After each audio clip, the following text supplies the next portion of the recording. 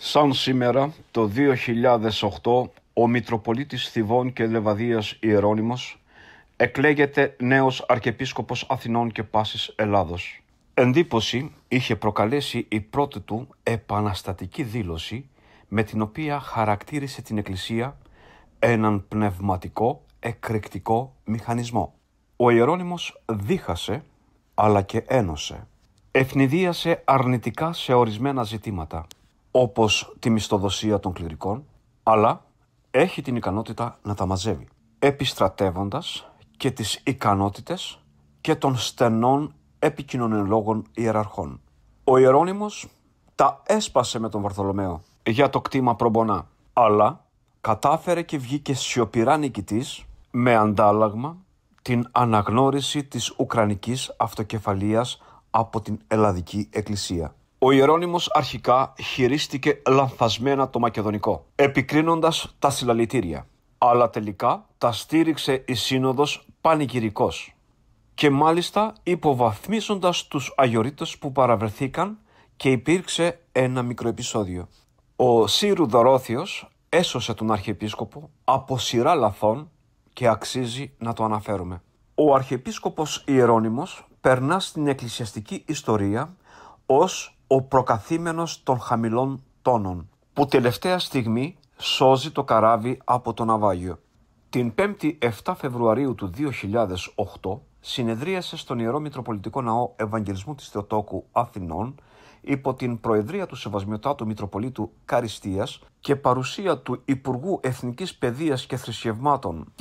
Ευρυπίδου Στυλιανίδη, εξελέγει ο από και Λεβαδίας νέος Αρχιεπίσκοπος Αθηνών και Πάσης Ελλάδος Κύριος Κύριος Ιερώνυμος, λαμβάνοντας την απόλυτη πλειοψηφία από τον δεύτερο κιόλας γύρο. Επί συνόλου 74 αρχιερέων, ο νέος Αρχιεπίσκοπος Αθηνών έλαβε 45 ψήφους έναντι 27 του Σεβασμιότατου Μητροπολίτου Σπάρτης κυρίου Ευσταθίου, ενώ στην κάλπη βρεθήκαν και δύο λευκά. Ο Αρχιεπίσκοπος Αθηνών γεννήθηκε το έτος 1938 στα Ινόφυτα Διωτίας. Είναι απόφυτος του τμήματος Αρχαιολογίας της Φιλοσοφικής Σχολής και της Θεολογικής Σχολής του Πανεπιστημίου Αθηνών και διετέλεσε υπότροφος του Ιδρύματος Κρατικών Υποτροφιών στις Βυζαντινές σπουδές. Μεταπτυχιακές σπουδές έκανε στην Αυστρία και το Μόναχο της Γερμανίας.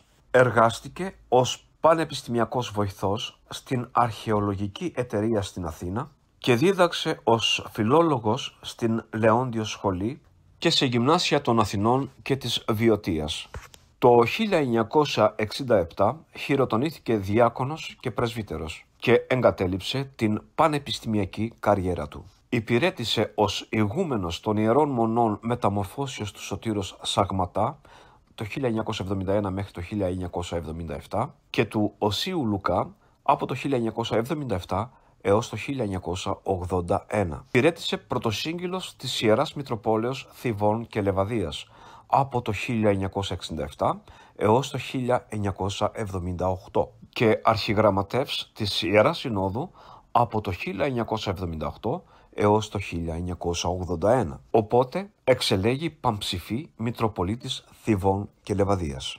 Συμμετείχε στις Επιτροπές Εκκλησιαστικής Εκπαιδεύσεως, Εκκλησιαστικής Περιουσίας, Σχέσεων Εκκλησίας Πολιτείας και Υποτροφιών και εργάστηκε ως Αντιπρόεδρος του ραδιοφωνικού σταθμού της Εκκλησίας της Ελλάδος.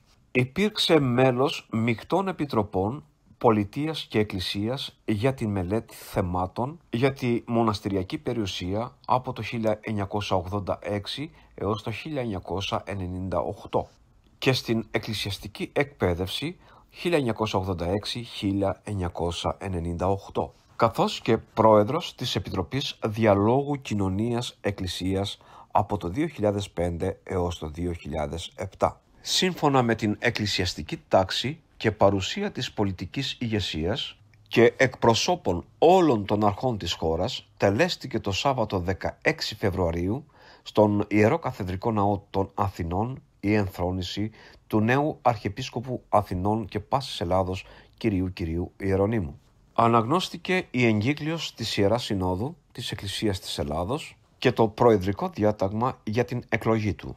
Το νέο προκαθήμενο της Ελλαδικής Εκκλησίας προσφωνήσαν κατάλληλα ο τοποτηρητής της Ιεράς Αρχιεπισκοπής Αθηνών, Σεβασμιότατος Μητροπολίτης Καριστίας Κύρος Σεραφείμ, ο εκπρόσωπος του Οικουμενικού Πατριαρχείου, Σεβασμιότατος Μητροπολίτης Περγάμου Κύριος Ιωάννης, εκ μέρους της κυβερνήσεως, ο Υπουργός Εθνικής Παιδείας και Θρησκευμάτων κύριος Ευρυπίδης Στυλιανίδης και εκ μέρους της Βουλής των Ελλήνων, ο Πρόεδρος Δημήτριος Σιούφας, ο Δήμαρχος Αθηναίων κύριος Νικήτας Κακλαμάνης και εκ μέρους της Ιεράς Αρχιεπισκοπής Αθηνών, ο πρωτοσύγγελος Πατήρ Θωμάς Συνοδεινός.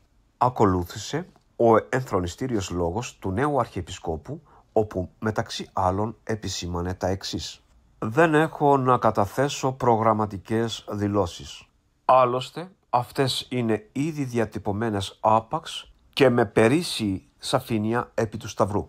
Η Εκκλησία πορεύεται μέσα στην ιστορία και τον κόσμο, αλλά δεν είναι εκ του κόσμου τούτου. Δεν ενδιαφέρεται να αντιπαραταθεί προς κάτι ή κάποιον, αλλά να προσλάβει τον κόσμο και να τον μεταμορφώσει. Δεν καλείται να είναι το λείπασμα για τα διακοσμητικά φυτά αυτού του κόσμου, αλλά γίνεται συνεχώς ένας πνευματικός εκρηκτικός μηχανισμός που ανατινάζει τον κόσμο και τον κάνει εκκλησία. Και εμείς οι διάκονοι της εκκλησίας δεν υπάρχουμε για να αντιπαραθέτουμε επιμέρους απόψεις εναντίον άλλων απόψεων ή ιδεολογικές αντιλήψεις έναντι άλλων ιδεολογιών. Ούτε δικαιούμαστε να στρατευτούμε σε μία ιδεοπολιτική επιλογή εναντιούμενη σε κάποιαν άλλη. Διότι τότε δεν θα είμαστε εκκλησία, αλλά μία θρησκευτική παράταξη, αυτοπεριορισμένη στη στενοπό των ιδεών της, αφού λησμόνησε ότι ο δρόμος που έχουμε να δείξουμε στους ανθρώπους και η αλήθεια που έχουμε χρέος να μαρτυρούμε δεν είναι μία ιδεολογία, αλλά ένα πρόσωπο. Ο Χριστός είναι η οδός, η αλήθεια και η ζωή.